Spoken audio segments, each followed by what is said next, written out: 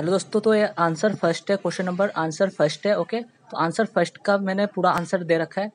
ये एडवर्टाइजमेंट का question number first है। इसका आंसर है मीनिंग आएगा, फिर उसका इंपॉर्टेंस है, और फिर उसका क्रिटिज्म बता रखा है ऑफ़ एडवर्टाइजिंग ओके? तो ये आंसर आप लिख लीजिए।